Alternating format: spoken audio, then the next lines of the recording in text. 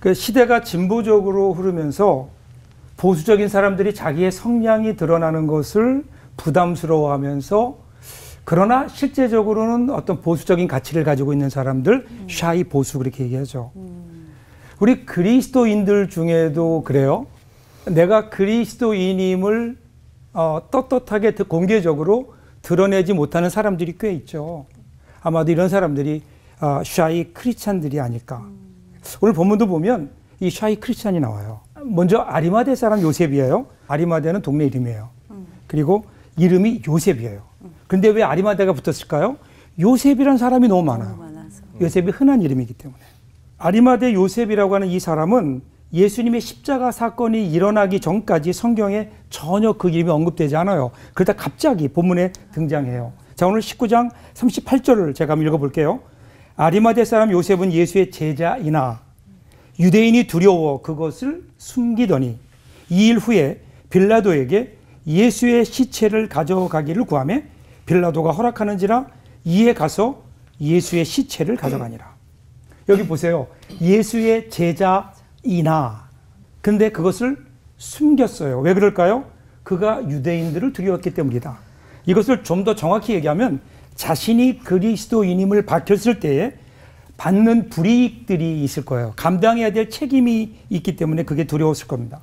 왜냐하면 이 아리마대 사람 요셉은 사내들이 사내들인의 공회원이었어요. 사내들인 그 당시에 70명으로 구성된 지금의 국회와 비슷한 그러니까 사형을 제외한 어떤 법적인 판결력도 가지고 있는 그, 그 당시 유대 사회에서는 최고의 기관이었어요. 근데 이 사내들인의 일원이 되었다라고 하는 것은 어, 사회적으로 인정받는 사람, 성공한 사람이라는 뜻이에요. 그런 그가 지금 사실은 십자가에 매달려 죽은 예수, 그 예수와 관련이 있고 예수의 제자라고 하면 그것을 밝히게 되면 그는 지금까지 자기가 쌓아왔던 모든 자기 삶을 그냥 무너뜨릴 수도 있는 어, 그러한 어, 위험이 있거든요. 그래서 숨기고 있었는데 그런데 더 이상 그것을 숨길 수 없는 상황이 오게 된 거예요.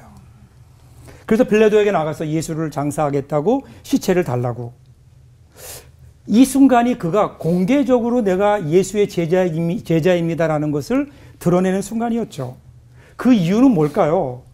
어, 오늘 성경은 이에 대해서 구체적으로 얘기하지 않아요. 추측컨대 그런데 그 무슨 사건이 있었는가 하면 바로 예수의 십자가 사건이 있어요. 십자가 사건을 겪으면서 그의 마음 속에 무언가 용기가 생기지 않았을까? 십자가에 돌아가신 예수님 보면서 자, 예수님은 저렇게 십자가에 돌아가시는데 나는 무엇을 하고 있는가? 내가 지금이라도 예수님을 위해서 할 수 있는 일이 뭘까? 예수님은 그렇게 속절없이 돌아가시고 그 다음 날은요 안식일이에요. 안식일이 시작되면 장례식도 못 치러요.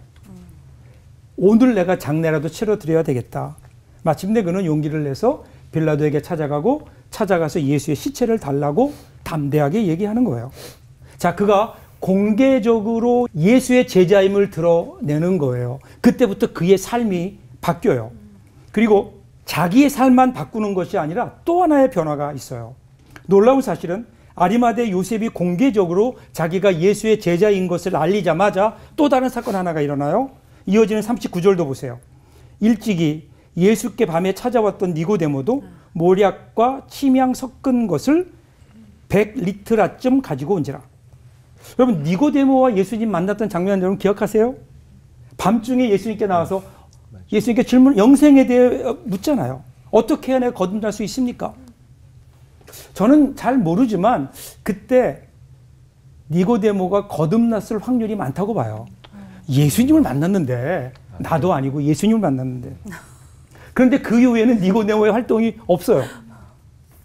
그런데 드디어 아리마대 사람 요셉이 공개적으로 내가 예수의 제자입니다라는 것을 드러내니까 이 사람도 그것을 보면서 용기를 낸 거예요. 그래서 니고데모 앞에 붙는 단어가 있어요. 예수께 밤에 찾아왔던 니고데모도 이렇게 나와요.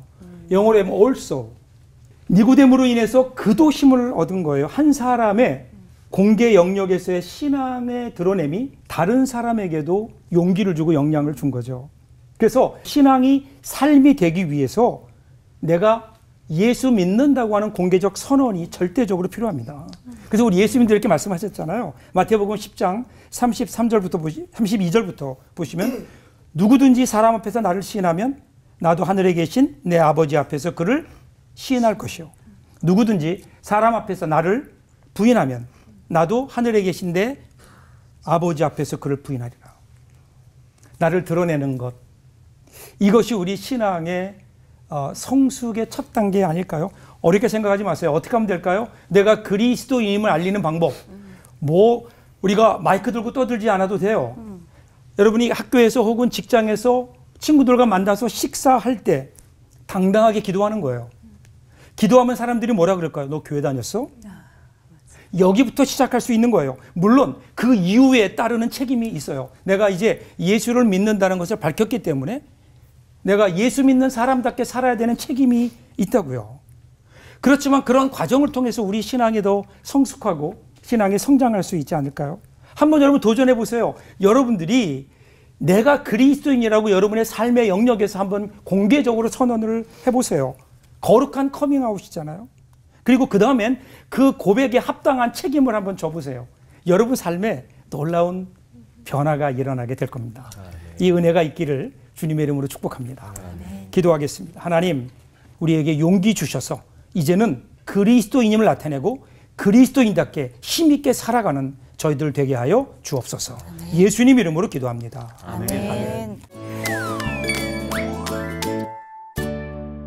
아리마대 요셉이랑 니고데모가 둘 다 반응을 했다고는 하지만 아리마대 요셉은 그래도 틈틈이 자신의 그 의사를 조금 살짝 살짝 표현을 했다고 알고 있는데 니고데모는 한밤중에 예수님을 찾아가서 그 하나님 나라에 대한 문답을 듣고도 확신하지 못했던 것 같거든요.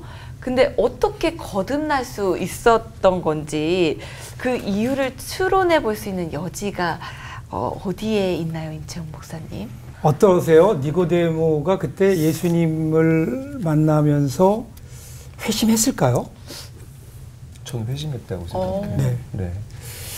정황상 그렇지 않을까요? 어, 그것도 대중설교도 아니고 일대일로 그것도 본인이 영적 갈증을 가지고 찾아왔어요. 그런데 예수님이 그 사람을 그냥 뒀을까요? 마음을 움직였을 것 같아요. 어, 아까 제가 했지만 저가 저 정도라면 몰라도 예수님인데 어 그것도 그냥 뭐 안 믿으려 그런 사람도 아니고 믿으려고 음, 그렇지. 왔어요. 그런데 거기서 그것도 예수님과 일대일로 성경 공부를 했어요. 구원의 확신에 구원의 도리에 대해서. 그런데 그 사람이 구원받지 않을 확률이 과연 많을까요? 분명히 저는 회심했다고 봐요. 그런데 그 이후에 활동이 전혀 없어요.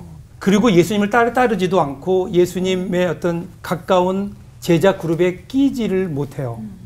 그런 걸 봐서 회심을 했는데 그 이후에 어떤 신앙적인 어, 어떤 어, 도전을 받을 수 있는 어떤 그룹에 끼지 못했고 주위에 그런 친구들도 없었고 그러다가 마지막에 이제 어, 예수님 예수님께 십자가 돌아가셨을 때 자기와 나름대로 가까이 지냈다고 생각했었던 아리마대 사람 요셉이 그가 내, 내가 예수 믿는 사람이라고 커밍아웃 하니까 그때 거기서 이 사람도 용기를 내지 않았을까.